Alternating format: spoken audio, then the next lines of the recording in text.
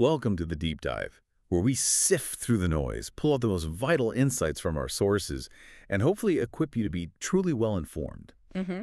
Today, we're plunging into a topic that's, well, not just cutting edge, but absolutely crucial for global health. Absolutely. We're talking about how artificial intelligence, AI, is fundamentally transforming HIV vaccine research and uh, clinical trials. Yeah. Our deep dive today comes from key insights presented at the IAS 2025 conference in Kigali, Rwanda. Specifically, the article AI set to speed up HIV vaccine research and trials, focusing on fair access. A really important piece. Definitely. And our mission here is simple, to unpack how AI isn't just some buzzword, you know, Right. but how it's actually a practical, powerful tool that's accelerating real-world progress in the global fight against HIV. And the potential here really is immense. I mean, for decades, HIV vaccine development has been one of the toughest challenges out there in medical science. Absolutely. Partly because the virus is just so complex. Yeah. But AI, it really offers a new frontier here. It enhances everything, right? From the vaccine design itself to significantly improving how we analyze all this complex data. Right. And it's really set to revolutionize how clinical trials are run. Yeah. And what's particularly impactful, I think, is its ability to create faster progress, especially in low and middle income countries. Yeah, where the need is greatest. Exactly, where the burden of HIV is highest and, frankly, where these advancements are needed most urgently. So with that uh, immense potential in mind, let's sort of peel back the layers. Okay. Where is AI already making a, di- a tangible difference, Yeah. particularly maybe at the community level? You know, reaching those who need it most, Mm-hmm. perhaps even people seeking guidance through services like the HIV RNA test guide. It sounds almost, well, too good to be true sometimes, reaching vulnerable communities like that. Yeah. How exactly does AI build that bridge where maybe traditional methods struggled? That's a great question, and it brings us straight to the work of Jirair Ratevosian. He's a health policy expert at Duke University's Global Health Institute. And he highlights that it often comes down to trust and accessibility. Right. You know, traditional testing methods, they can carry a lot of stigma, or they can just be logistically really difficult for many people. Sure. AI offers these new ways to deliver privacy and convenience. And he actually cited a fascinating real-world example, didn't he? A- A study from Frontiers in Public Health back in February 2024. That's the one. A clinical trial in Kenya. Right, looking at AI support for HIV self-testing Hmm. in private pharmacies. Exactly. What they did was use computer vision, essentially AI that can see, Okay. to interpret HIV self-test results right alongside human readers. And here's the kicker, right? The part that really makes you stop and think. Yeah. The AI model showed perfect sensitivity and negative predictive value. Perfect, which is Oh. just Yeah. yeah. To put that simply, for identifying HIV, it was perfectly accurate at spotting everyone who did have HIV, that's the sensitivity, Mhm. and also perfectly accurate confirming who didn't have it, Mhm. the negative predictive value. So virtually eliminating those critical false results in those areas. Exactly. And it actually outperformed pharmacy clients and even the human providers in some key areas. That's incredible. Think about that. An AI reading a simple self-test, doing better on those metrics than trained pharmacy staff. yeah. This isn't just about, like, efficiency. It feels like a monumental leap in making accurate HIV testing accessible and almost foolproof. Especially for those vulnerable populations who might really fear going into traditional clinics. Exactly. That feels like the real game changer there. And what's also fascinating is how AI goes beyond just, you know, reading the tests.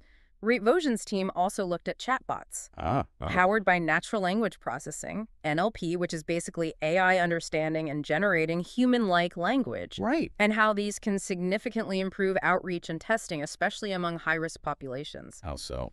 Well, they found these chatbots can mimic real, empathetic conversations. They feel personal, trustworthy. Which is so important for sensitive topics like HIV. crucial. And the user engagement they saw was really impressive. Where? Over 90% of users engaged with the chatbot all the way through. 90%. That's huge engagement. It really is. And maybe even more notably, 56% of users actually requested an HIV self-test kit right through the chatbot wow. So it directly led to action. directly. And that's remarkable, especially because many were young, first-time testers. The very group that might be hesitant otherwise. Precisely. People who might hesitate in a traditional setting because of privacy worries or stigma, Mm. it really democratizes access to information and the actual tests. So for you listening, this means AI can also help connect vulnerable groups with healthcare providers too, right? Mhm. Making that path to diagnosis and care much smoother. Exactly. By analyzing behavior data, providing these tailored rapid responses, AI tools can reach more people in ways that fit their lives right where they are. which ultimately helps find HIV cases sooner. That's crucial, not just for the individual. But for public health overall, it helps prevent further transmission and gives us invaluable info to improve vaccine outreach plans, make them more targeted, more effective. Yeah, it's about overcoming those old barriers Yeah. that kept people from getting tested in the first place. Mhm. Okay, that's incredible for diagnosis and outreach. But, like you said, the ultimate goal is prevention. Right. The vaccine. So what about that? Preventing HIV in the first place. This is where the story gets really groundbreaking, isn't it? How AI is revolutionizing the design of vaccines. It really is reshaping the entire discovery strategy. Yeah. And this is the domain of researchers like Rory Henderson, associate professor at Duke School of Medicine. Okay. He explains how these powerful AI tools, particularly machine learning and these things called protein language models, Protein language models. Like translating protein? kind of, think of it like Google Translate, but for the incredibly complex language of proteins and their genetic sequences. They're helping researchers finally grapple with HIV's incredibly complex structure and its uh, rapid evolution. Which has always been the huge hurdle, right? It mutates so fast. constantly, constantly changing its appearance to evade our immune systems.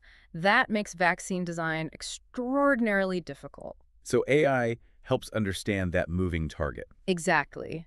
These models are helping us finally understand that constantly shifting target. Henderson highlights, and I'm quoting here, modern AI tools provide a means to integrate complex data and recognize complex patterns. Mm-hmm. provide their training using the right data, and are guided by the most informative features. And the scalability. He put it really succinctly. If we train an AI algorithm to recognize the antigen features driving high precision antibody mutant selection, we can scale to one thousands of antibody targets on the hours today's timescale. Okay, let's put that in perspective. Yeah. Designing antibodies against a virus like HIV.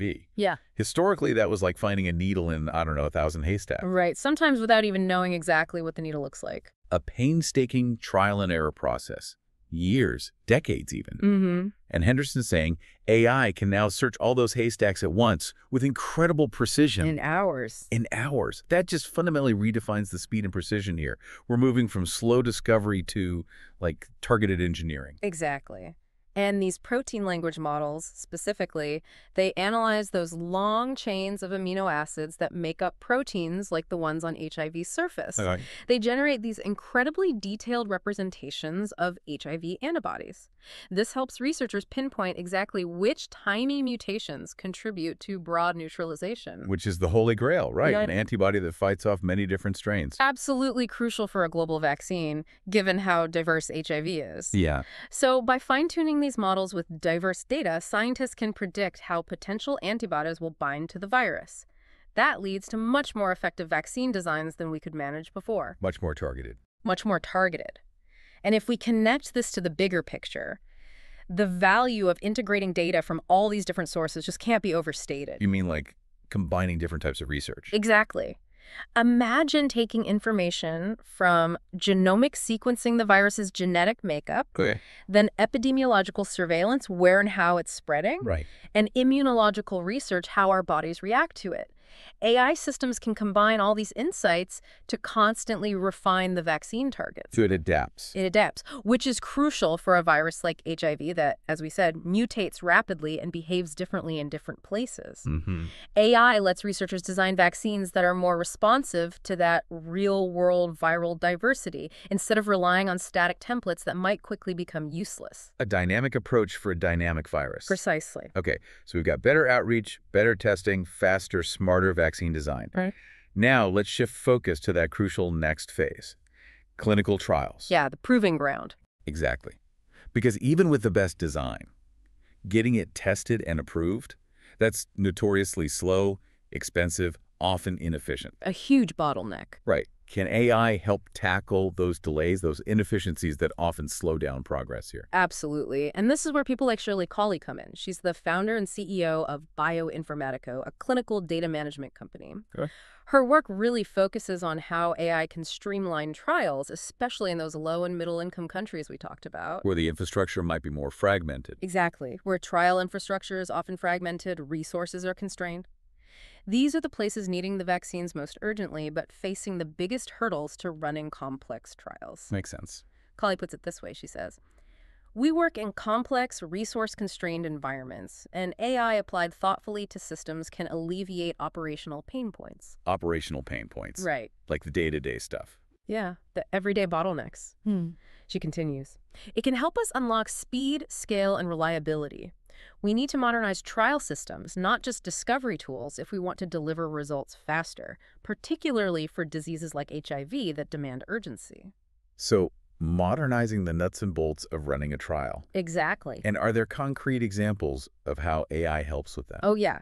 Imagine just the sheer volume of paperwork and data in a trial. Overwhelming, I bet. Totally. AI can automate setting up clinical trial databases. That reduces human error, speeds up launch times. Okay. It can review complex protocols for logical errors, catching inconsistencies early on that might otherwise cause huge delays or even invalidate results down the line. Right, finding problems before they derail things. Mm-hmm. It can even help with regulatory compliance, navigating those complex, often varying rules across different countries. Wow, the implication there seems pretty powerful. Yeah. Does this mean more local institutions, say in Africa or elsewhere, could run trials more independently? That's a huge part of it. Empowering them to run trials independently and at scale, reducing their reliance on expensive external partners. Which builds local capacity, Uh-huh. makes trials more relevant locally. and ultimately gets results faster. It's a win-win-win. yeah, And that leads right into the critical importance of scaling these tools equitably. right, making sure everyone benefits. Because many early stage biotech companies, academic institutions in the global south, they just don't have those massive centralized data coordinating centers that big pharma might have. They lack the infrastructure. Exactly. So AI, in this context, can help level the playing field. It provides standardized, automated solutions that don't need huge upfront investment in infrastructure or personnel. that makes sense. Collie gave this really powerful example of a large HIV vaccine trial. It generated dozens of protocol versions, memos, bulletins. Just a flood of. Holy flood. Human teams can easily get overwhelmed. You can see how errors could creep in. Oh, easily. So AI-driven document management Yeah. using large language models that could dramatically cut down confusion and error, Mhm. make trials much more manageable, more efficient for smaller local teams. It removes a huge administrative burden. Exactly, letting researchers focus on the science and the patients, not drowning in paperwork. Okay, so taking all this in, better outreach, smarter design, more efficient and equitable trials. What does this all really mean for the future of HIV vaccine development? It feels like the overarching theme from all these experts is pretty clear. AI isn't some magic wand, right? Definitely not a silver bullet. Not a silver bullet that solves everything, but it is undeniably a powerful catalyst. That's the word. A catalyst for faster, more equitable progress. Yeah. That's precisely it. AI can remove critical barriers that are currently slowing things down, Right. right, across the board, from accelerating discovery to improving trials to how communities are reached. Mm-hmm. Now, obviously, there are shared considerations we need to keep in mind. Things like ensuring data quality, addressing potential algorithmic bias. Especially when you implement these advanced tools in places with maybe limited digital infrastructure. Exactly. Those are real challenges. But the consensus seems to be that if we use AI thoughtfully, with human oversight, Right. Humans still in the loop? always, then AI can significantly increase the speed, the equity, and the overall effectiveness of HIV vaccine research. It's about augmenting human capability, not replacing it. That's a really important distinction. Yeah. Well, thank you for joining us on this deep dive. It's been fascinating and honestly pretty hopeful exploring this intersection of AI and HIV research. It really is inspiring work. It truly is. Mm. Seeing how technology is being harnessed for such a critical global health mission, bringing us closer, hopefully, to a future free from HIV. Mm. And as you, our listener, go about your day, maybe something to consider.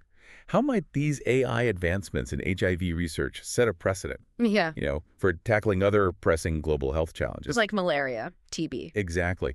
And what new considerations, maybe ethical ones, might emerge as AI gets even more integrated into healthcare worldwide. Lots to think about there. Definitely. Keep exploring, keep learning. We'll see you next time on The Deep Dive.